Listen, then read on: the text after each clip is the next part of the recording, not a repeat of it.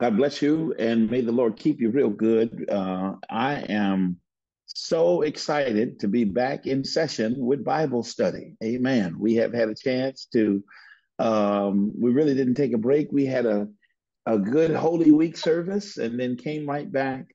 Uh, now we're back um, uh, for Bible study. And this, uh, I believe, is uh, going to take us back just a little bit to get a little bit of a refresher but we need uh, always, as Mother Lee echoed, stay in the Word. Uh, stay in the Word. She mentioned to us that we need to continue to pray, and I agree. Stay in the Word, keep praying because it's working. I think that is the message of the day. Stay in the Word, keep praying because it's working. So, so church, I, it is it is about that time for us to dive into Bible study. And prior to us doing so, I need you to do your due diligence and look through uh, the the role of participants and see that we're missing a couple of people.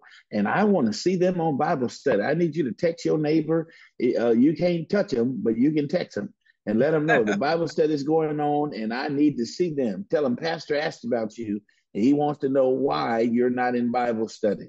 Amen. Amen. Because listen, church, we can we'll never be able to defeat the devil if we are lackluster in our knowledge of the Lord. We got to be about God's business by learning his word, and we're able to improve every aspect of our lives by our knowledge of the scriptures. And so when it is that we're under attack, the only way to over or the best way to overcome attack is to continue to stay in the in the scriptures to keep yourself grounded in the word of God but also church to keep yourself renewed in your mind. As we all have an adversary we have an enemy out there that's trying to make life hard for us. But if you're not in your bible i guarantee you the devil can wreak havoc in your life. This morning in my devotion mother Purtle, when i was working out one of the things that the Lord reminded me was I got everything that you need under control, but I need you to always remember you're in a spiritual fight. And I want to pass that word on to this congregation right now that God has everything under control, but we always got to remember we are in a spiritual fight. We're not necessarily dealing with a physical fight where you can see the person that you're fighting right now. You're in a spiritual fight where we are fighting with a, an unseen enemy, meaning yeah. that church, this unseen enemy that you're fighting against, you might not even be able to notice that, you know, when some folk were looking at cartoons back in the day, the devil had a red tail and horns. You can spot it very easily, right? In this day and time, the thing that's fighting against you is something that's unseen, but you have to always be aware. Right. It's one thing for you to be fighting a devil that's unseen and you're unaware. It's another for you to know that the enemy may be unseen, but he but you're aware of his tactics. And here here it is, church. The devil t- attacks the most in relationships. That the enemy's job is to try to get you to a place where everything you got working is suspended and broken. And so if the devil can get involved in all your stuff, then the next thing you know, you're going to be mad at this. You're going to be firing that. You're going to be fighting this and you're going to be fighting that. You're going to be arguing with your supervisor. Then you're going to be arguing with the administration. You're going to be arguing with whether or not this should be or whether or not that should be. And before you know it, you all in a tizzy. And, and watch this. And the devil is sitting back tickled why, church? Because this is a mm-hmm. situation where you, when, it, when you were dealing with an unseen enemy, but you were unaware that it was the enemy until later on when you realize that all of that mess that was in the atmosphere was for you to use that spiritual power you have to speak to that storm and tell it peace be still. Amen. How you doing tonight, Mother Pearl? I'm good. I'm good. I'm glad you said what you said because uh, I don't think I've ever heard anyone put it better when you say that the devil is not a prophet, he is a historian. Mm-hmm. So Amen. he, he Amen. use your history against you. Yes, he yes, he knows. The, the enemy knows. The enemy knows when you get upset. The enemy knows. Watch this. The enemy knows your triggers.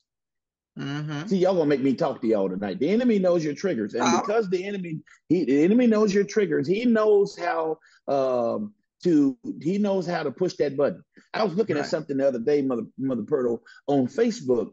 There's a very interesting picture that was quite humorous. It was a little boy with a stick on his shoulder. and, and all all you saw was the little boy and the stick and that stick sat up on his shoulder. And, and and and what's interesting is is that the little boy was was he was insinuating something, and so I sent that same picture uh, over to someone and said to them, if I send you this picture, you already know what's going on, right?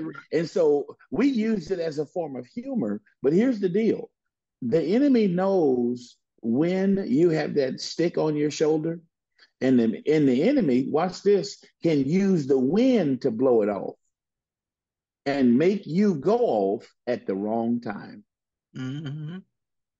Here's what I want to tell you, church. Please don't get into nothing that you're going to have to say, I'm sorry for when you already know you don't even want to talk to that individual anyway. Amen. you, you say, say you already you already speaking to him. Now you got to go back and say I'm sorry for doing something mm that you should have done in the first place, right? All because you had that stick on your shoulder. If you put a stick on your shoulder, you trying to fight.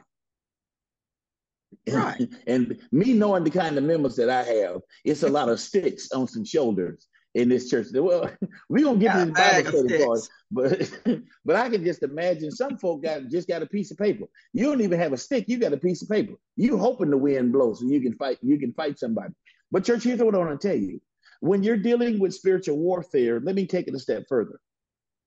When you're dealing with spiritual warfare, potentially, church, God has something in store for you. You don't want to forfeit what God has in store, neither do you want to delay what God has in store, dealing with, watch this, things that you you already championed. See, when you get to the next level, let's use it in grade school. You cannot be a senior at this point and then lose or forfeit what God has in store for you or delay it for a kindergarten problem. I thought you were a senior. You can't tell me you've been in church all your life, and every time you get into a situation and an obstacle dealing with the enemy, you're losing the fight all because watch this, you you keep wanting to be a kindergartner. No, no. You gotta you gotta maintain, watch this, a meat diet. You you know, milk is milk is good, milk is necessary but I do want you to maintain a meat diet. In other words, the Bible says that there comes to a certain time and point in your walk of faith where you're not necessarily a person that's looking for the milk of the word, but you are a person that can sustain and handle the meat of the word of God. And this is the angle, church, that I'm that I am encouraging our members to get to this place at this point. That you've got to get to the point that you're operating under the meat of the word of God and you're no longer sacrificing, watch this, your success for temporary gratification. Let me talk to you. Temporary gratification means I feel like fighting, therefore I fight and after I fight, I feel better. Here's the deal you blow up the spot and you also blow up some of the friendly casualties that are there. Hear me clearly. Some of the things that you're fighting, watch this, you got other people that's watching, and you're affecting your witness with your fight. So don't lose your witness trying to feel better. When in all actuality, feeling better is when you go to God about the thorn in your flesh and quit arguing with the thorn. Uh-oh, I just I just touched somebody in the wrong place. Again, go to God about your thorn instead of you tickling the thorn. Watch this. The Bible says that when it came down to the thorn in the flesh, Paul said to God, I already came to you about this, and God told him, I'm not going to move it. Can I give you a word tonight? Some of you that are on this call tonight, your word from God is before we get into Bible study is that God is not going to change the circumstance. Maybe you need to ask God to give you grace in your circumstance because this circumstance has made you weak. Uh oh, I'm telling some truth now. This circumstance got you off. This circumstance got you messed up. This circumstance makes you want to quit. This circumstance makes you not even want to come to church. This circumstance makes you want to cuss. Lord have mercy. I, I know that I ain't got no cussing members, but I got some that their mouth is watering because of the circumstance. And the thing is that, watch this, God said to Paul, even though this thorn in your flesh is getting on your nerves, I'm not going to take it out. Why? Because my strength is made perfect in your weakness. So, church, here's what I want to tell you, and we'll go into Bible study after we hear from Mother Bird. What I want to tell you is this we got to be careful how we're trying to remove the thing that God's not concerned about. Mm. Oh, that's rich to me. If God is not concerned about moving the thorn, mm, mm, why are you giving it so much attention? If God said, I'm not going to move it, tell me why you keep trying to pull it out yourself. It's not life threatening. You understand? The only reason why it's aggravating you because you're giving attention to it. Right. If you stop giving attention to it, it will not bother you. But because you bother it, it bothers you. Here's what I want to tell you the Bible says that the enemy is waiting on you. The Bible says that he's as a roaring lion. Is he a real lion? No. He makes those sounds and he knows what to do to tickle right. your emotions. And so, watch this. If you learn how to stop giving a place to the devil. The scripture says, if you if you resist the devil, he'll flee from you, right? Yes, that means that we got to stop giving place to him. I talked y'all on last week that the issue with with um, Judas was he was open to the devil. One area mm-hmm. that you're open to the enemy is when you allow your frustrations. Watch this one when we we become open to the enemy when we allow our frustrations to be our focus rather than our forward to be our focus i'm gonna stop right there because i can go all day with that mother bird how you doing tonight i'm doing fine a little weary but i'm i'm good Thank don't God don't let it get here. you. Don't don't let it get you. don't let Mother Bird. Don't let that roaring lion make that my make that, make that Foote Homes come out of you. I, I, Fowler, Fowler Fowler Homes. I'm sorry. I, am sorry. Don't let that Fowler Homes come out. you got got to get got, keep keep them homes straight now. You know how we uh, uh, and so and so church uh, and so church. I, I want to say this because openly we need to talk. Openly we need to talk, and, and openly I want to share with with the church that I love.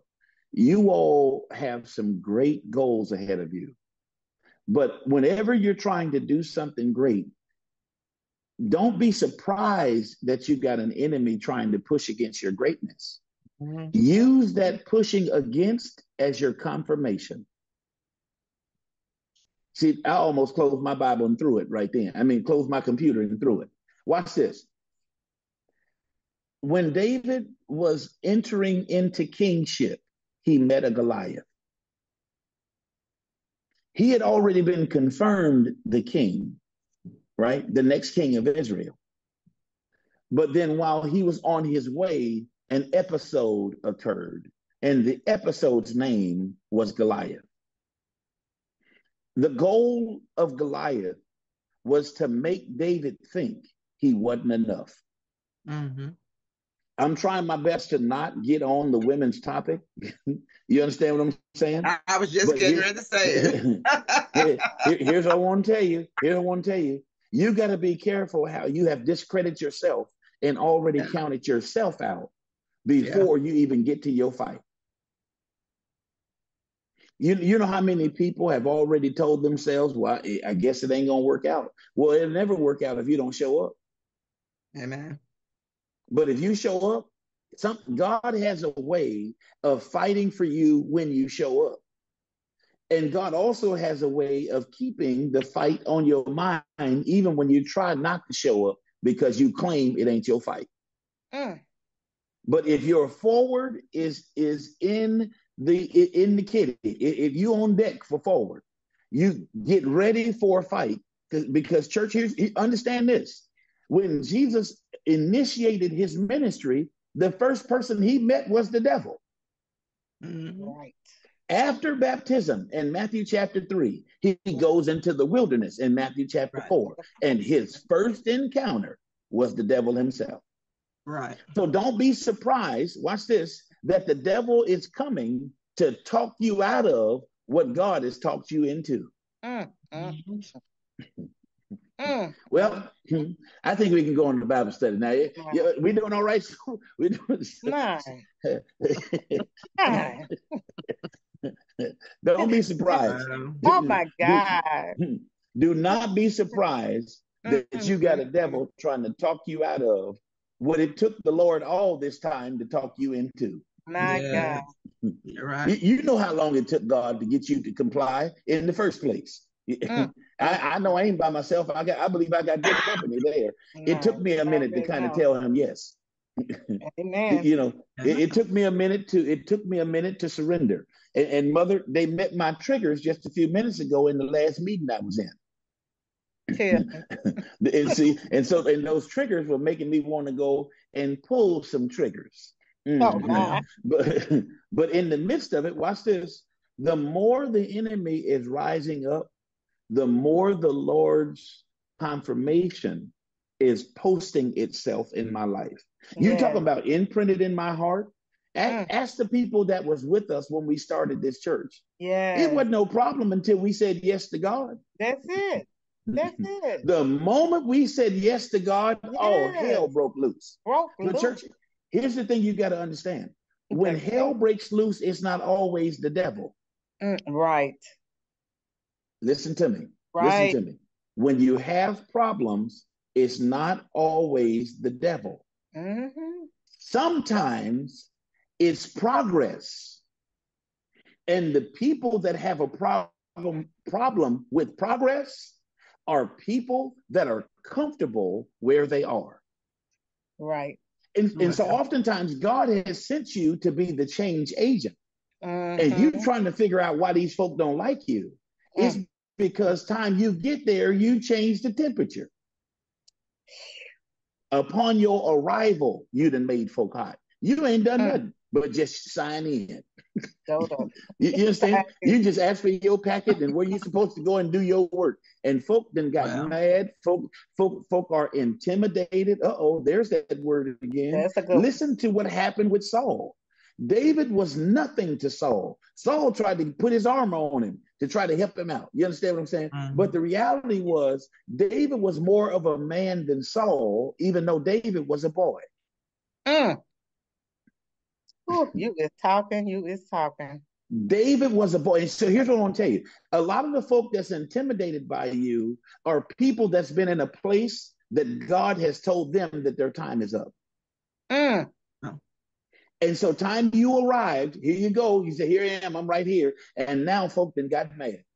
Why? Because they already know the handwriting is on the wall. Mm, mm, mm. Change is not a bad thing, church. Change is inevitable. But but but as we're a part of the change that takes place, don't get sucked into the complacency of those folks that's fighting change. Because when you fight change, you ain't fighting people. Sometimes fighting change is fighting God. Yes. Mm-hmm. Mm-hmm. Sometimes I'm, I'm, gonna say that that's so good. I got to say it twice. Mm-hmm. Sometimes fighting change is not fighting people. Sometimes fighting change is fighting God. Mm. Wow. Mm, mm, mm. well, well, Lord, I, I, I don't want to cause no problems. Well, here's the deal: the moment you obey God, you're gonna cause problems. You already caused a problem. the moment you say yes to the Lord, you're gonna be a problem to folks. The moment you say yes to the Lord and you start doing the Lord's will, you're gonna be a problem to your kids. Let me just go on and let me just go on and help somebody tonight. You know how you're gonna be a problem to your kids because God is telling you to clean your house. Mm. Now your kids don't want to talk to you. Mm. you. You understand? God is telling you. God is telling you to clean your relationship up. Now your spouse is aggravated because wow. God is telling you do what you got to do to live holy in your house. My you, Lord. You, you, understand what I'm saying? When, yes. when, you when we begin to start saying yes to God, some things have to change. And anybody that's fighting that change is the devil. Or mm. oh, okay, I'm sorry. Mm. I ain't gonna call your kinfolks the devil. I ain't gonna call my kinfolks the devil. I'll just say it this way: when God orders a change, any resistance is not of God. Mm-hmm. That's very that? diplomatic. That's very diplomatic. How about that? You know, at first, at first, we're just gonna call it the devil, but we're just gonna leave it right to mm-hmm. see, right to see. Now I got some members that are gonna ride with me now. Because so, so here's here's the part, church. Here's the part. Stop trying to fight change, because fighting change is also contrary to your prayer.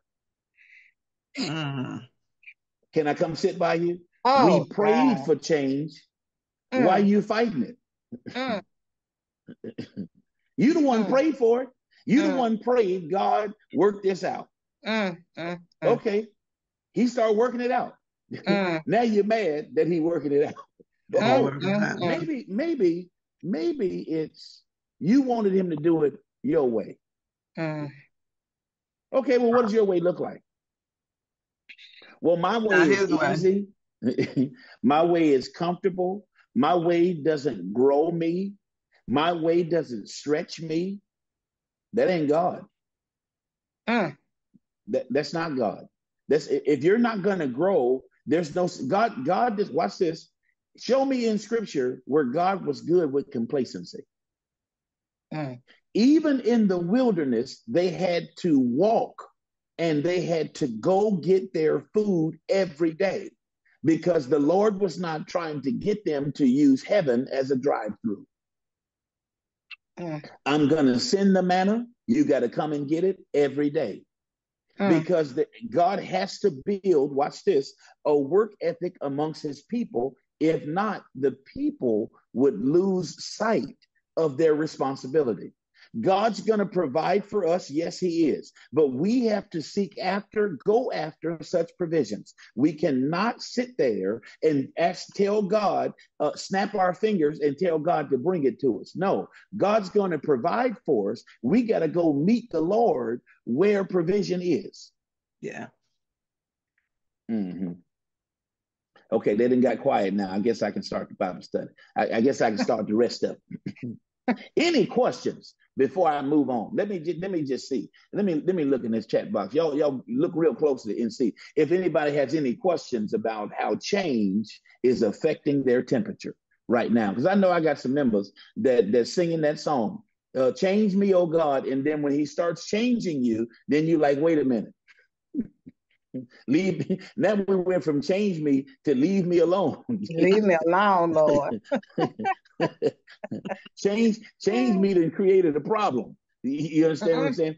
Okay, so uh-huh. it looked like it, it looked like there are no questions. Uh, look like there are no questions. This Bible study gonna get you though. Why you uh, thinking? listen, you, before you uh before you go any further, I just want to um reiterate something that Sister Carter put in the chat. This okay. has been the best 10 minutes. This been the greatest 10 minutes. I'm like, man, this man come at the gate tonight swinging at us, Jesus, But it has been the best 10. It might be 15 by now. But it's been the, okay, she says 23 now. It's been the best 23 minutes, Lord. Okay. Beautiful, beautiful, great. Yes. Yes. Okay, well, well, thank you, Mother Carter and Mother Bird. I, I think that um, I, I, trust the Lord for being the kind of God that He is, because uh, God knows God knows that sometimes, church, that even though we are, even though we are trying our best to get into a formality of learning the Scripture, sometimes, church, we just need to talk, right? And and and every now and again, uh, that's just that may be the need for the time uh, but this this text is doing some talking too. Uh huh. Let me let me show you what I'm talking about. Let, let me show you what I'm talking about. So get your Bibles out, church, and let's go to uh, let's go to John chapter number five. I believe is where we've been hanging out uh, for quite some time now. John chapter five, and um, I believe we uh, have have moved down just a touch um, we moved down just a touch, and uh, we we're going to get into this. We're going to get into this lesson talking about hostile salvation, hostile, uh, a salvation that is hostile. So let's take a look at it here. John chapter number five, verses 10 through 17. I know that Sarah's on. Uh, Sister Sarah, if you could uh, open the text, please, in the uh, ESV, English Standard Version.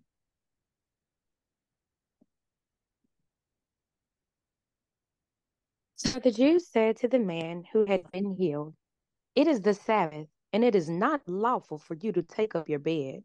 Mm. But he answered them, The man who healed me, that man said to me, Take up your bed and walk.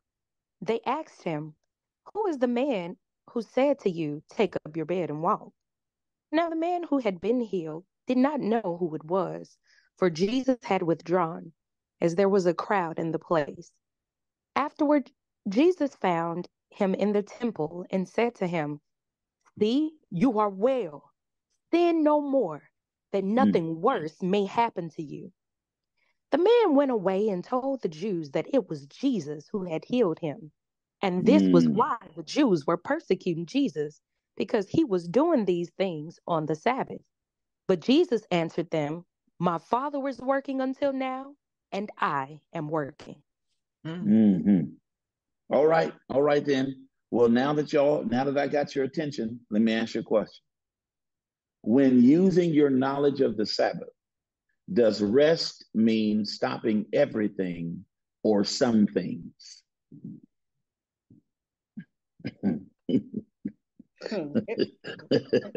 That's funny. That's funny. When using your knowledge of the Sabbath, does rest mean stopping everything or stopping some things? What do y'all think?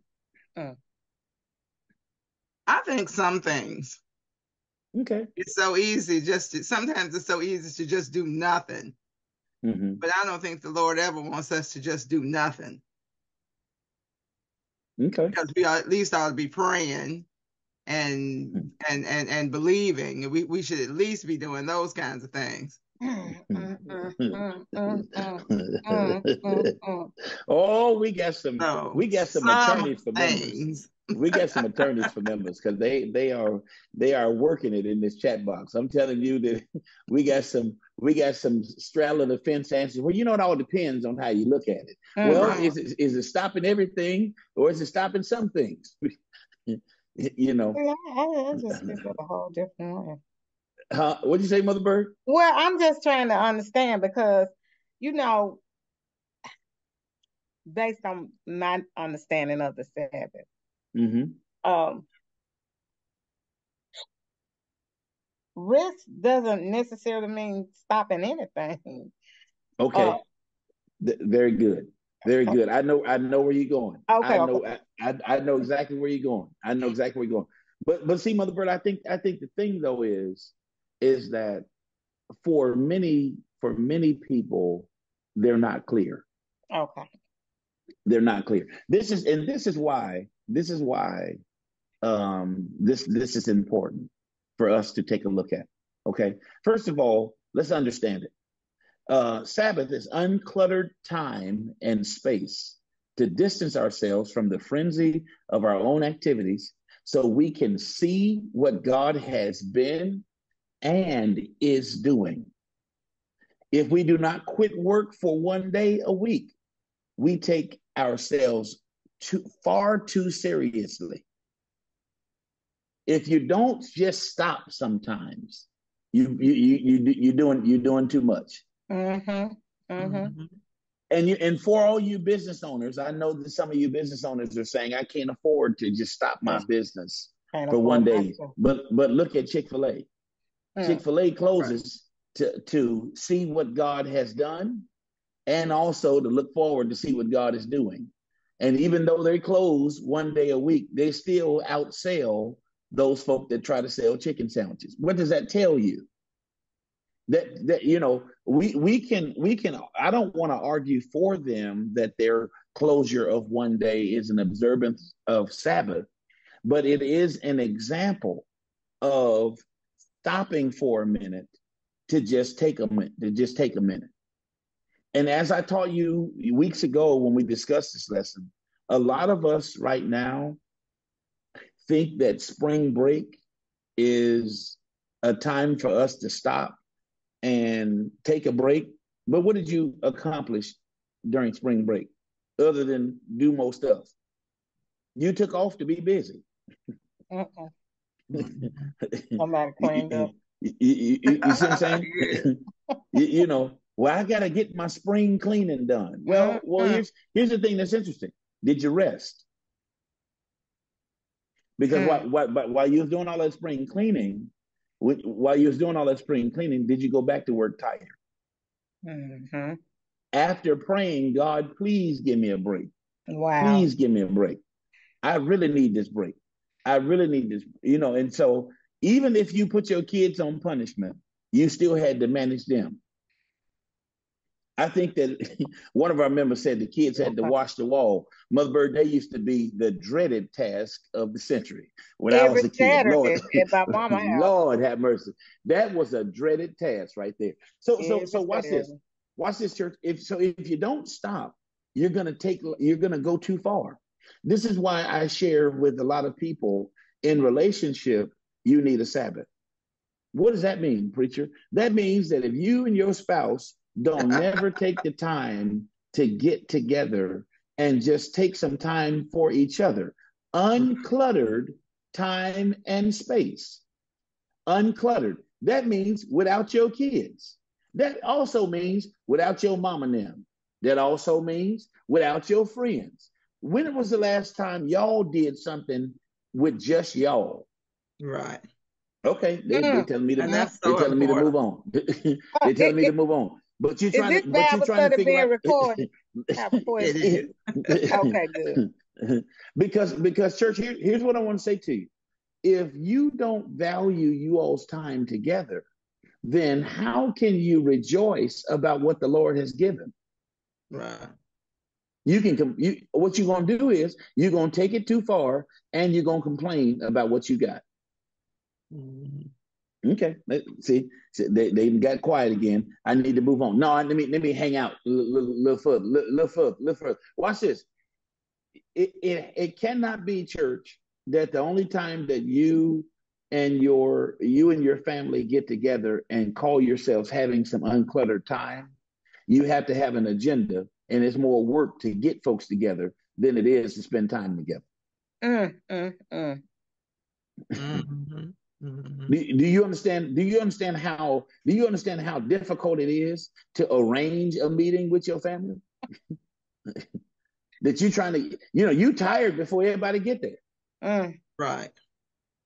You know why that is? Because this this is not this is not uncluttered. It's the clutter is trying to include people that don't want to be there. Right. Okay, well, I'll move on. Mm. but but, but you know what? When you when, when you're talking there. about relationships, a lot of times couples when they get to that empty nest period mm-hmm. in their lives. Come on, come on, preach to me.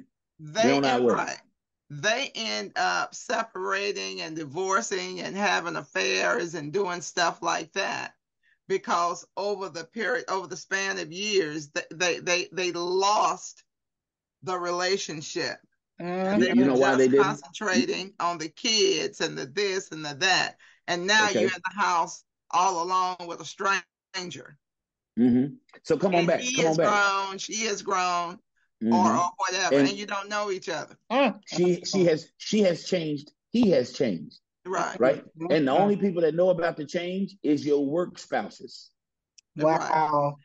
Oh yeah. Oh, I'm gonna go and there. That shouldn't be. oh, I'm gonna go there. Well, the reason why that exists is because you don't do nothing but work. Mm-hmm. And if you don't quit work even for one day a week and just go to lunch with your spouse and just have lunch and ask how you doing, oh, we're losing them. They drop it off like flies. If you, if, if, listen, listen. You, we cannot thank God for who we have if we don't take time to acknowledge who we have. Right. I'm gonna say it again. Stop, stop trying to make me think that you're thanking God for what you have when you have not sat down to acknowledge who you have. How how is it that she can cut her hair and you not know? Right. How is it that he can change his cologne and you don't know nothing about it? Right. You, you understand what I'm saying? It's, it's crazy to me that you're with somebody, you y'all sleep in the same house, and every time you turn around, when something new happens to her, folks at work no faster than you do, and you stay there. Right. Uh, uh, uh. You, you know why that is? It's because, church, we have taken ourselves too far and we have not sat back to have a moment to acknowledge what God has done. When you acknowledge what God has done, you have a reflection on what God has given. But when you talk about what God is doing, you have a forecast of what you're believing God for. And so, my hope and my aim uh, is already what we're doing right now. We're planning to go and be with our children that's in college. So that's our next phase. So Caleb will be in college next fall. Carrington will be in college next fall. And the and the goal is is that possibly I can go, we can go visit Caleb one one weekend. We can go visit Carrington one weekend. You, you see what I'm saying? But guess what? We we going together. you, you, you see what I mean? It, uh, we got a question on the floor, Mother Pearl, and we only in this the first slide of the night. Yes, Brother Derek, how you doing? Well, uh, um, trying to uh, get my thoughts together. Um, I understand know, know what uh, what's been said. Mm-hmm. That have been uh, my thought all along. And then, but I remember uh, sometimes you can get away uh, away from that. You know, you know, spend time, you know, with the family when uh, um, when you had your happy moment, then somebody turn your happy moment into a sad moment, then your brain go empty, and then mm. when the law, and then with the law open your mind back up, and then you begin to see that uh, people don't still don't want to see you happy, and they wonder what's going on. Uh, they they wonder what's going on because they're so used to um, what they heard. Mm-hmm. What they heard, they don't see. They don't see that in you. What other people say, and so, yeah. and so, what I'm trying to say, the Lord would change your outcome and get people to see you in another, in another way. Yes. I'm not put exactly how I want to say it, but that's the close I can. Get. Oh no, no, no! I, I, if, if I believe I'm tracking with you, brother, I, and I think that I think that uh, see, see, I think that uncluttered time is reflection. Let's can we slow down tonight, church? If I don't go too far, we we gonna be all right. But uncluttered time is reflection. I think that we don't spend. Some people call it meditation. I like reflection because reflection helps me to look backwards. Sometimes, church, you need to take some time and look backwards. Here, here's the songwriter says, My soul sit back and wonder. Guess what wondering is? Mm-hmm. Reflecting. wondering is reflecting. Said, man, how did we get out of that one? Have you ever sat down? See, see, I think that one of the areas that relationships really don't appreciate is your broke days. You remember them days when when you didn't have money to go out to dinner, but you you know you made the best of it it, or either broke days or need I say sick days. When mm-hmm. Caleb was when Karen, well, I'm sorry, when Shanta was pregnant with Caleb, she couldn't go out. She couldn't. Uh, she was on bed rest, so she had to stay in bed uh, after month six. At the month six, she to stay in bed until she until uh, she had the baby. So we had to modify a lot of things of our lives just to normalize life because she couldn't leave the house.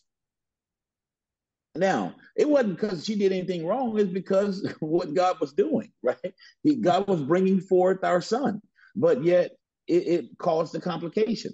See, church, when you when you have uncluttered time, you can navigate through difficulty. The, the, are you getting that? When you have uncluttered time, you you can navigate through difficulty. The space does not necessarily mean a lot of space. It could just mean it is time taken, right? To navigate through what you're dealing with.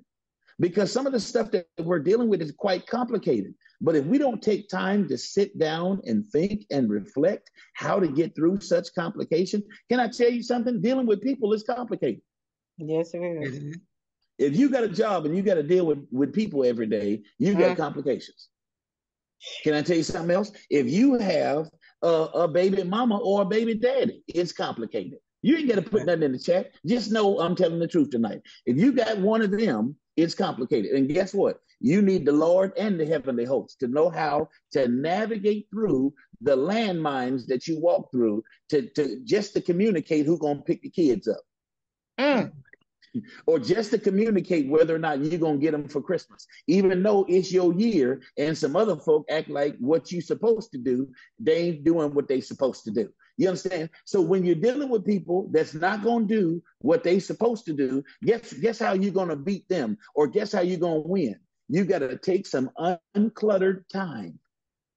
Uh-oh, I just gave you one if you learn how to just sit yourself down somewhere, if I had, if I was close to you, I'd swing at you and tell you sit down somewhere. You ever had that happen to you? With your mom will get the flash water and just swat at you. Now it's child abuse. Now we can't can't use the flash water. But you need to understand that, that heaven need to give you a big flash water and tell you sit yourself down. Take some uncluttered time, and guess what? Build the greatest thing that God has put in your spirit. But you keep trying to navigate through the landmines of what your last relationship is putting you through. Mm. When in all actuality, what God has been has been a keeper to keep you sane while you dealt with that foolishness. But now that you're gone, tell me why you keep looking back in the Sodom. If ah, anything, you you better run, run, run. I'm telling you, like Lee Williams say, while the blood is running warm in your veins. Amen. Somebody. Let me let me move on then, since y'all don't want to talk no more to me. Then I'll tell you this: a, a world. Listen, listen to Henry Ward Beecher. He said, "A world without a Sabbath would be like a man without a smile, like summer without flowers, and like a homestead without a garden." It is the most joyous day of the week when mm-hmm. you learn how to just take a moment and just and just exhale. Mm-hmm. You mm-hmm. rob yourself. We rob ourselves when we don't take a moment to just exhale. Okay, so watch this. In order to do some something called Sabbath keeping, that is quieting the internal noise. I can stop right there since there's a comma and, and, and deal with these English majors that's on this call tonight. Right. How many of you know how to quiet your internal noise? Uh-oh. It, it, see, see, the reason why you can't hear the still small voice of your Lord is because your your internal noise is too loud. What? nah, nah. Mm-hmm. You, you know, you you don't want to see see. I'm gonna tell, let me let me tell you what, what happened to this smart church we have. This smart church we have, Mother Bird, don't want to say we have internal noise because internal noise could mean we hearing voices. so this smart church that we have, they ain't gonna, I ain't gonna admit that, that preacher that he ain't telling me that I'm hearing voices. The thing about it is, is that all of us got something that is creating a noise and mm. it's and that noise is creating a disturbance. And because of such disturbance you can't hear the small still voice of the lord. Because when god is speaking to you church let me let me tell you something. When god is speaking to you you can't even have the tv on. Right. Sometimes people say well i need the noise in the room. But watch this. That noise sometimes can steal or rob you from something a nugget that you really need Right. You have to quiet that external noise 1st mm-hmm. mm-hmm. Amen. Yep. Yep. And, and so so look at this. You have to remove the distractions of pride. That's that's an internal noise. Pride. Mm-hmm. So you can discern the presence of Christ. Mm. Oh, that's good. That's yes, that, oh, that's good. That's good. That's good stuff right there. Church, we got to remove the distractions of pride. Uh, uh, uh. Mm-hmm. You, let me give you, let me give you one more. You got to remove the distraction of I got this. Mm-hmm. Not in the sense to say that God does not want you to have a healthy confidence or self esteem, But the thing is, is that you got so much confidence that you don't, you're not even looking for God. You got too much dip on your chip. See, this is a good place to touch your neighbor. You understand? When you get to the point that you got it and you don't need God, that's you're gonna make the biggest mistake of your life. Mm. Mm-hmm. Okay, that's fine. We'll keep going. We'll keep going. We'll keep going. Watch this. Okay, so so in order to get some good some good um some good nuggets about this, then you need to have some Sabbath questions. Let me give you some. Okay, so when you keep the Sabbath, consider the questions to uh, consider the answers to the following questions. So, Mother Bird, I'm going to ask you: when when you work, uh, are you working for God? That's a question. That's a Sabbath question. That's a Sabbath question. When I'm working, am I working for God? Yes, that's a good question. Okay, watch this. When I rest, Am I resting for God, Mother Purtle? I'm going to define working with or working for or resting for. Okay. Watch this. Does resting refresh me for work? Mm-hmm. Mm-hmm. That's good Sabbath right there. When yeah. resting is refreshing you for work. Mm-hmm. And how does my time of rest include devotion to God. Mm. Mm-hmm. Because a lot of us want to just go get the fishing pole and sit on the water. But while you getting while you while you out there on the water, where's the Lord? Now you don't want him to trouble the water while you are you gonna be in some trouble while you're on that water, right? So so we have to we have to be mindful. We have to be mindful, church, that that when we talk about a time of rest, if if we don't include devotion to God, then I question whether or not it's Sabbath. Mm-hmm. Right. Mm-hmm. Mm-hmm.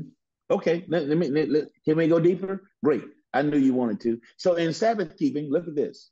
Um, uh, Jesus said the Sabbath was made for humankind, not humankind for the Sabbath.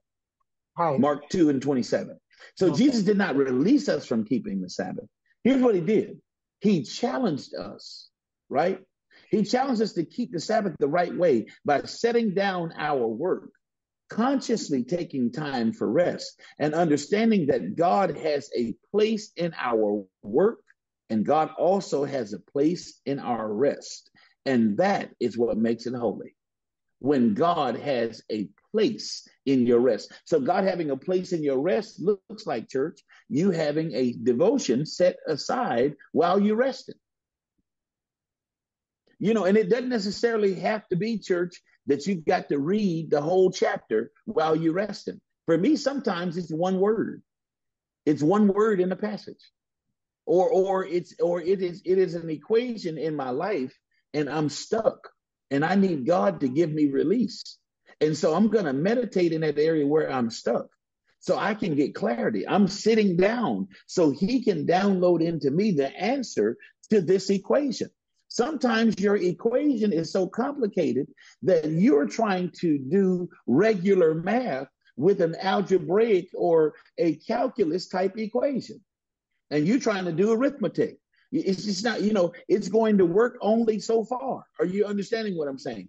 This is why Jesus said on one occasion to the disciples that you're wondering why your your magic or your mojo ain't flowing is because this kind goeth not out but by prayer and fasting. Church, in order for us to be more effective, we're going to have to be about our spiritual disciplines. That means that fasting is not always you sitting down and turning the plate down. Fasting sometimes is being on Facebook. Fasting sometimes is turning the TV off. Fasting sometimes is getting off the phone. Fasting sometimes is putting your iPhone down and stop playing games all day. Jesus Christ. Fasting is sometimes you not being on TikTok, trying to create videos or looking at somebody else's video. Amen, somebody. Amen. The reality of the matter is, is that watch this, we got to learn how to resist what's going on in the world on the outside so we can quiet that world that's going on on the inside. Many of us are troubled with many things many things. And mm-hmm. because we're troubled about these many things, that work that that inside that inside thing that's going on, that inside sound is noisy. But until you put down all this stuff, you, you, you we got to put it down, church. We mm-hmm. got to put it down. Mm-hmm. So so watch this. How well do I understand the fact that one person's work is another person's rest? Mm. Here's here's here's the thing. Some people might find it uh, tedious, right, to to be doing some work. You know, they, some folks might be might think that working in the rose garden is tedious work. it, it is for for a person that's a landscape person. but for some, but for some people that love gardening, getting out there in the garden is your rest. I can can I give you one? My my my Sabbath is cooking. but I just I'll just get in the kitchen and and and as my kids say, make some greens. Yep, gonna get in there, gonna get in there and do it. And watch this. I'm gonna make them, and after I make them, I'm gonna taste them, and I'm gonna be tasting and eating and making them all all day. But but here's the deal: I can get out there on the grill and barbecue. That's that's that's that's resting for me. Even though for some people, cooking just just takes them there. For me, it does me well, and I cook a lot. now it's not First Lady Sabbath because me cooking mean that it's going to be some dishes. and it's gonna be a lot of food. She ain't gonna be happy about that because I don't eat leftovers. Mm. ain't, ain't that a mess, Mother Bird? I'm gonna cook up That's all that mess. stuff. That's a mess. I'm gonna cook up a whole pot of greens and then say, I don't want no leftovers. We got fast. Pray for First Lady. She gonna be all right. So so so here's but see I got Mother Lee now. And so now that Mother Lee eats my greens, that we really doing good. But but the reality of the matter is is that church oftentimes what what maybe work for somebody else, see there, Mm. she she talking about throwing my greens in the garbage. She about to upset my spirit. She needs a Sabbath. She need to rest those words. but but oftentimes, church, we got to be careful how uh, for some people reading is is restful for them. That they can pick up a book or or something like that and read. You know, some for some people it's writing or or doodling. You know, just just putting some scratches on paper. And people think, well, well, you know that that that that bothers me. Well, well don't let it bother you. Leave folks alone.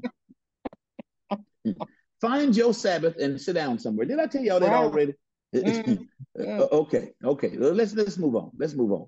Let's move on. So so look at this. When we look at the scriptures, Jesus did something that that was interesting to me by meeting the expectations of the lame man. He broke laws of the, the Jews that were there or the church leaders. The scripture says in verse 16, because Jesus was doing these things on the Sabbath, the Jews persecuted him. And oh. so the leaders of the church faced a mighty miracle of healing and a broken rule. And they were forced to decide. So what did they decide? They threw away the miracle. They said the miracle has to go. And we're going to focus our attention on the broken rule. Isn't that something? Isn't that something? Y'all, y'all, you know, that's the argument of God don't hear a sinner's prayer. That's the, that's mm-hmm. the one right there. That you're ready to get rid of folk because they're doing things, watch this, the way you didn't expect God to do it.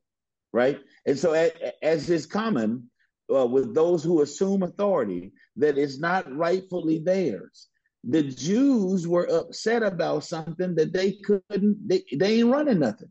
The leaders felt that their power was threatened when Jesus did it the way he did. And so their goal, their response to that was resentment. And so John continued to follow them and he said, well, all right, then, well, since they're feeling this way, guess what they're going to do? They're going to humiliate Jesus. They're going to harass Jesus and eventually they're going to kill him. Well, Be- because this is a conflict over the, the uh, him doing something on the Sabbath. So all of this fuss was all because he did something on the Sabbath that they felt he shouldn't have done. Okay. Now, now let's get into the meat of this. When when when we are calling ourselves working with the Father, right? Jesus said, My Father is at work. My Father is always at work to this very day, and I too am working. And so the area that we also can see is that Jesus is also uh, connecting himself to the Father in a particular way. And so then by doing so, he ain't subject to the rule because he's he's because the Father's the one that made the rule, right? But look at this. If God stopped every kind of work on the Sabbath, nature would fall into chaos and right. sin would overrun the world. Mm-hmm. It's almost like I'm going to get in trouble, but I feel like it. I feel good trouble tonight. It's almost like defunding the police. Mm. Who you gonna call when your car gets stolen? Come on now. Who you gonna call when you, when your house on fire? We gonna defund the police. Well, the fire department can't work on, on Sundays because we, you know, we or, or Saturday, whatever day you want to call Sabbath. Then that right. means the fire department got Sabbath too, and they can't work. Mm-hmm. Your house on fire, it burns down on the Sabbath day. And mm-hmm. you know, mm-hmm. so mm. the, the thing about it is, church. Let's look at this last slide here. Oh, so, so, so the Bible says in Genesis two and two that God rested on the seventh day. He rested from the work of creation, but began the work of sustaining mm-hmm. creation. See, church, God has been at work and continues to work, and so does His Son. If Jesus stopped interceding for you and I, then hell, here we come. Right. He's at work Absolutely. every day. Jesus is at work every day because of my sin, because of your sin, because of my attitude, because of your mm-hmm. attitude. He's working right now because he's still working. Why is, why is he working? He's working because, church, hear me clearly. He, he's working because this is, he's working with the Father. Too many of us today want to see God at work, but in a lot of cases, God is calling us to come to work. Mm. God is creating a thing, and then what, once He creates it, your job is sustaining what God created. Let me give you some application. God created a healthy marriage. What's your job after God created? Sustain it. Mm-hmm. God created the children we have. What's our job? Sustain creation. Sustain those children. Don't just get them to the point tell them they're grown and throw them out there in the world. We're adults and we still lean on the Father, which means our children are going to lean on us. Right. It doesn't always mean that you get a chance to rescue them either, because sometimes leaning on me is me teaching you to lean on Jesus. When you're Amen. not strong, because I'll be your friend. That's right. I'll help you carry on. Y'all ain't with me tonight. I want you to understand that sometimes, church, watch this, we got to learn how to apply a healthy knowledge of the scripture. Because what happens is, is that if you don't allow, if we don't let our children evolve and develop, we're going to create a laziness. Mm-hmm. That's right. And so I don't want to create, I don't want my children to, to, to uh, think that I got to do everything for them. I have to put my children in a position for them to do something for themselves. And then I got to step back and help when they when God prompts me to help and sit down when God tells me to sit down. We got another question, brother Derek. Unmute yourself, brother Derek. What you uh, Okay, uh well, you're on my uh, on my road tonight. Uh, oh, so, well, thank you. I appreciate so, it. So, um, okay, so what you're saying is that since God haven't gave up on us, so we shouldn't give up on our children. Well, well, brother, let me let me unpack that. Let me un- unpack that. There's a difference between giving up, and there's a difference between setting limits. Okay. For example, for example, let me give you, let me give you, let me give you a quick one. If if a child does not know how to tie their shoe, it's I do. Come here, Brent. then we do. Then you do. That's the model that I learned from the school teachers. Right. The school teacher's going to do it first. Then the school teacher's going to do it with you. Then the school teacher gonna let you do it on your own.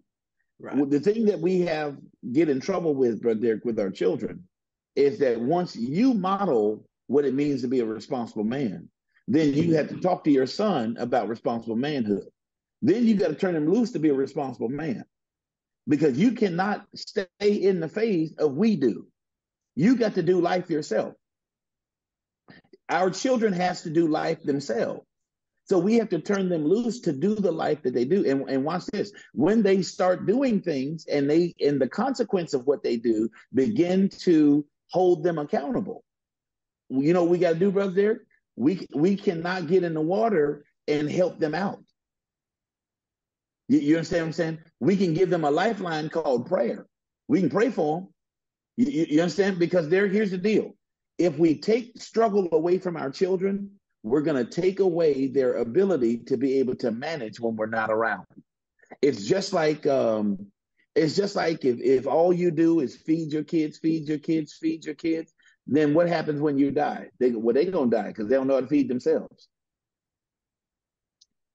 So, so, Brother Derek, I'm not telling you to cut your son off. I am telling you to set some limits. You, you, you understand what I'm saying? So, so setting limits means I'm not going to help you, but I'll still talk to you. Yeah, setting limits. Setting limits mean now I ain't gonna give you no money, but but but I tell you I tell you what I am gonna give you. I'll give you some game, as Jay Z said, for nine ninety nine.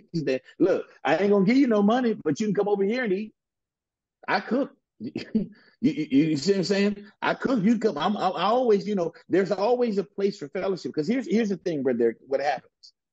Oftentimes, especially when a person is struggling with letting go of the strings, and this is really kind of, sometimes that, that our, our children have that have that challenge sometimes of letting go of the strings. They they want they want to be independent when it's time for them to make decisions, but then when it's time for those decisions to begin to catch up with them, then all of a sudden, you know, it's y'all ain't helping me. No, I'm helping you. I'm helping you by helping you to help yourself. Because yeah. part of part of sustaining creation, brother Derek, is is like it's like having a tree. If if your tree is is limp, you've got to help that branch to get stronger. And organically, if you feed it, nurture it, sustain it. This is sustaining creation. If you nurture it, if you prop that branch up, put it where it's supposed to be, and let it sit for a period of time, eventually your sustaining is going to help it to get stronger. Once it gets stronger, take the crutch away. If not, you're going to damage the area that's holding it up. Right. Right. Well, I agree. Uh, uh, I agree with you. Uh, I had to making some hard decisions, and you know, it, and it don't feel good, but you know, you know, but you're right. But um, I know he's gonna have to start standing on his own. Okay, and and brother, here's the deal. Um, just because he's standing on his own, don't mean that you're not with him. Sometimes, see, here, here's what I want to tell you. Here's what I want to tell you.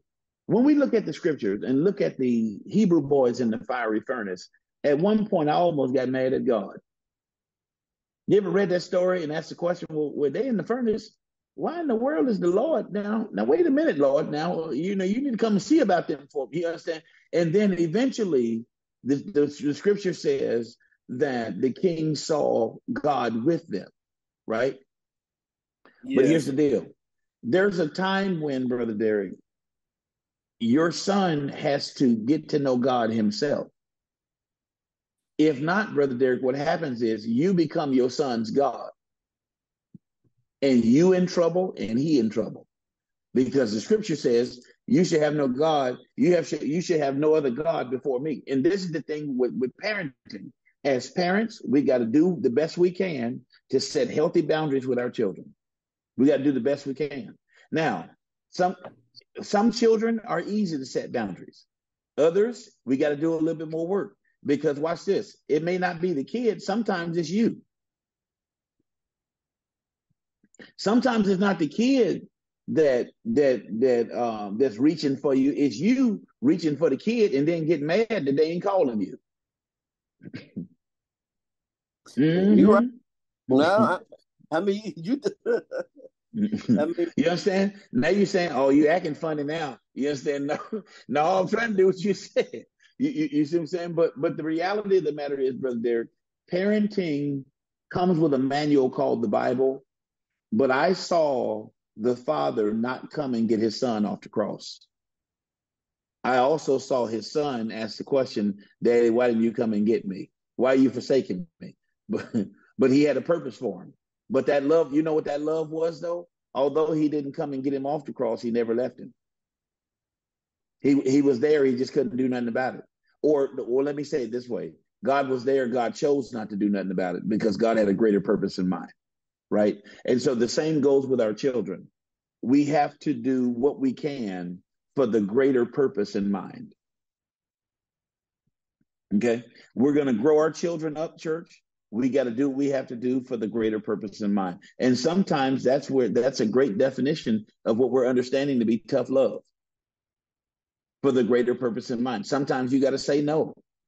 Yeah, they're gonna they're to talk about you when they get in the car and they're to call you all kinds of stuff. but that's okay. Right? Because uh, sometimes tough love is what is what's necessary. Sometimes no is the best answer you can give. Mm-hmm. Working with the Father. Because sometimes, parents, when you say no to your children, you're working with the Father. Oh, yeah. And they're going to do just like the Jews. They're going to harass you. They're going to, they're to want to humiliate you. And they're going to want to kill you because they need that $5 they came and asked you for. They didn't drove all there in the middle of the night to come and get that $5 and you had a nerve to say no. The answer is correct. You, when you decline their cash app request, they're going to say something about you. Oh, it's going to be okay. Just keep praying. Let the Lord be your God. Let me get to the next one. Watch this now. So then, with this claim of Jesus being one that's equal with God, the issue at hand is this. Jesus was teaching that when the opportunity to do good presents itself, it should not be ignored, even on the Sabbath day. That's the crux of the matter right there. When the opportunity, so so what is working with God? Fulfilling the opportunity to do good. Very simple, quite profound. That's that's that's that's as that's as easy as it is. That's how I work with God. Doing looking for an opportunity to do good and making the best of that opportunity. Right? So as we get ready to go, uh, we got a couple minutes, Mother Bird Mother Pirtle. I want you to, if you could, um, we had a, the, the greater question that's on the table is how do we work with God and I and I imagine manage our children. so so I need some mother wit before we before we go, and I'll come back with our with our announcements and reports, and we'll go further into the lesson. But but don't go nowhere, church. Let's hear from Mother Bird, Mother Pirtle, Mother Mother, Mother Pirtle. Uh, I guess I guess you're unmuted. What, what do you what do you say? How do you how do we how do we help our kids and work with God at the same time? You know, I guess we have to be like the eagle. And uh you gonna kick him out? and, and, at least third. stir the nest. at least third. Mm-hmm. Yeah, if, we, if we aren't like the cuckoo, you know, the cuckoo, you know about what a cuckoo bird does. The cuckoo lays its egg in somebody else's nest. Mm. And when and, and and it expects somebody else it expects another bird to hatch it. Wow. And when that big old cuckoo egg hatches, that little cuckoo bird is a devious little thing. He has a little arch in his back and he pushes that other egg out of the nest. Mm. Mm, and, mm, and it, it and and and, and he and it require and and the uh, the the birds they don't even have sense enough to know that they raising somebody else's chick. That's mm. crazy.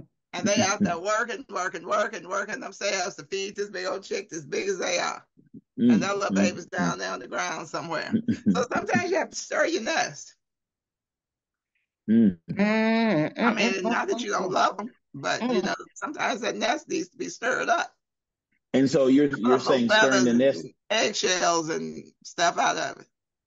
So you're saying stirring the nest is working with God sometimes. Mm-hmm. I can ride with that. I can ride with that. Mother Bird. Mm-hmm. Oh, you know, on situations like this, I used to try to, I, I, I just kind of pass on on saying anything because y'all know I'm not the uh I'm not the most I'm not the easiest person. I'm not the most patient person. So I don't even understand some of the parent children mm-hmm. dynamics that I see in the world. Mm-hmm. Even among my friends and stuff. I don't I don't always understand it. So mm-hmm. but stirring the nest sound good to me. Mm-hmm. I mean, my mama didn't have no issues opening the door. Mm-hmm. And I was like not even 18 when she said, there it is. and, and that was, you know, that was how it go. Because, you know, she said our our grown folks need to have their own. He need to have their own and, spot. Yeah. And she classified grown as when you don't want to follow my rules. It didn't even matter about age. I mm-hmm. guess I could have been 12. It did mm-hmm. not matter about that. If she has some rules and it's too much for them to bear, they get to a point where they want to make their own rules, but it's but it's her house. Okay, mm-hmm. then you know you have to you have to go get your own. And yeah. so that's that's just how you know I guess I feel about that thing to a certain extent. I'm not saying don't help your children, but mm-hmm. I mean, well, in this in this day and time, help right? Well, and that's and that's and that's it right there, mother. In this day and time, we have to define help. Yes. Because that's- helping helping one child by, for example, getting one responsible child a car so they can do responsible things, that's helping. For others, helping them to get their stuff and get to the door is helping. It's helping. Uh, you understand? So, so um, I think there's, I think the diversity. This answer is so diverse. We could spend eternity trying to give you answers, yeah. church. What I will say to you is, this is what this is a good reason or a great example of how you can use Sabbath. Mm. If you having children trouble, Get that un, get that clutter out your life. Sit still. Cut cut the TV off.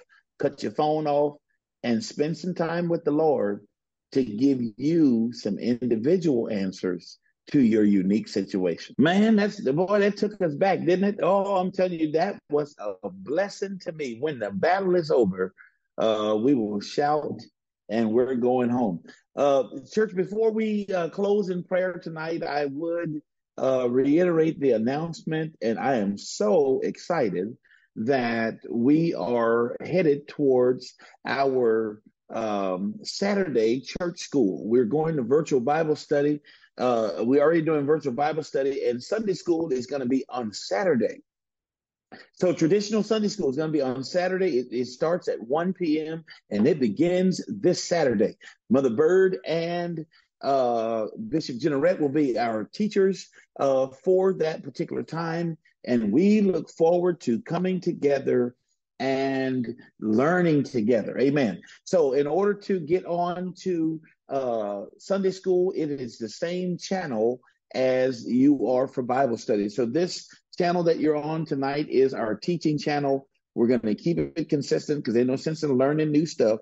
Just log on to this and on Zoom. It's going to be on Zoom log in and be prepared to hear a word uh, taught by uh, Bishop Generette and Mother Lee Saturday church school. And so our Sunday school opportunity is based upon your requests. So please let it be more than Mother Bird and Bishop Generette in there on Saturday. So, church, I, I will say this because it's virtual, uh, please take some time and sit down somewhere. Don't let it be that you can't pay attention to the lesson because you're in Kroger's and you're trying to ask questions and you're on aisle five. Sit down somewhere and just, it's only an hour. They're not going to be on all day, but they do want your undivided attention. Amen. So if uh, persons are going to sit down and teach you, please respect our teachers and be engaged and be prepared to learn uh, on Saturday. So as we close in prayer, I will say this to you. I'm excited about the direction of our church. I'm excited about the changes that, that God is creating. But even I'm more so excited about you that in the midst of your changes and in the midst of the things that's going on, take a moment of Sabbath to unpack change. Let us pray. Father, we thank you for tonight. We thank you, Lord, that you have spoken uh, in several different ways tonight, God. You you opened up um, with with just a direct dialogue, one one where we were reflecting back in another and just talking about God, the matters at hand. And Lord, in, in spite of the thing that's going on, help us, God, to be conscious of this matter of spiritual warfare. I pray for the members of grace that we can become more aware that we're in a spiritual fight most of all, that we have a spiritual matter that has to be dealt with, and things that are coming to us in the natural have to process through the spirit first. God, I pray that you would help us to really get a thorough understanding of what spiritual warfare is. And briefly, succinctly, God, I pray that we learn how to wait on you. As it was in Daniel, God, that you had an answer and strength that was coming for Daniel. But the, the matter that that what was coming was contended. In, in other words, the enemy resisted what was coming and put up a fight. And Daniel had to wait 21 days. And God assured Daniel while he was praying that on the first day I heard you, but the king of Persia got in the way. God, I'm praying right now for somebody that got something in the way, that they're needing you. They're getting weaker and weaker as the day go by. But Lord, give us the strength to hold on until the answer comes, because I believe, God, when you answer it, it's going to give us strength and it's also going to give us hope. Father, we also pray for our church school. Saturdays, Saturdays work, God. And as we're preparing to evolve and grow as a people, it's going to require sacrifice for us to grow. And Lord, I pray that we do the necessary things we need to do to be a better people for you. Help us, God, to learn the word because the word is going to help us to deal with this matter spiritual warfare. And without us knowing the word, we can't whoop the devil. But since we know the word, God, we're going to be equipped. And I thank you for the equipment and even the teachers that are opening up the supply house to give us the tools to be able to fight against the enemy. Father, I pray also for our congregation. We have a multitude of prayer requests tonight, God, whether it's children in school, death in families, whether it's, God, just the complications of life itself. But Lord, I pray that the church would join Pastor in prayer taking a moment of Sabbath every day to unpack what's fighting us so we can get answers and be successful for that day. We don't have to unpack the whole week's worth of problems in one morning. God, if we could just settle ourselves and hear from you for the matter at hand, I believe life will be a lot easier for us. Bless your people, God, as you have so far. Continue to do it in Jesus' name. I pray that every, I pray that everything you touch, I pray that everything you got going on in your life be touched by the power of God tonight. In Jesus' name, amen. God bless you and may the Lord keep you.